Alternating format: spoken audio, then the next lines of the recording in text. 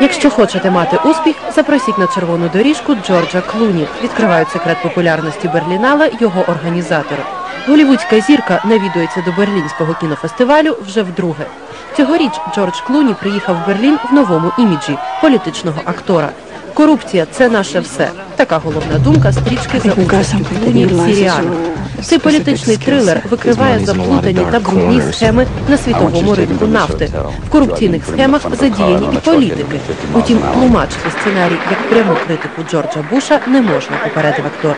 Йдеться про помилки американської політики на Ближньому Сході. Після 11 вересня все дуже змінилося. Загально кажучи, американці були поганими. Був потужний прорив правої політики.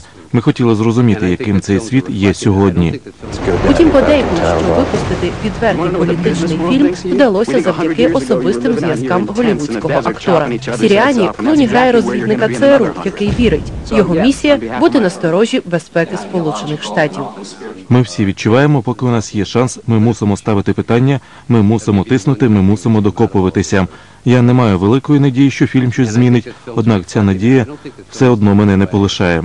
В Берліні стрічку демонструють поза конкурсом. Однак в Голлівуді за роль в Сіріані Клуні може отримати заповітну статуетку Оскар. Для ролі в фільмі Клуні погладшав на 15 кілограмів. Каже, що набрати вагу треба було в рекордно короткий строк 30 днів. Утім, тепер від зайвих кілограмів ані сліду.